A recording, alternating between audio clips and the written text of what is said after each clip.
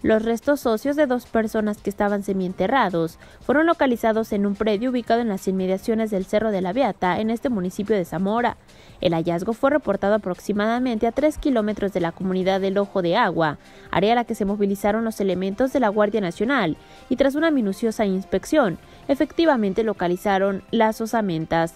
Personal de la Fiscalía General del Estado arribó al lugar y tras procesar la escena indicaron que se trataba de restos óseos, al parecer de dos hombres. Asimismo, en el área localizaron partes de un pantalón.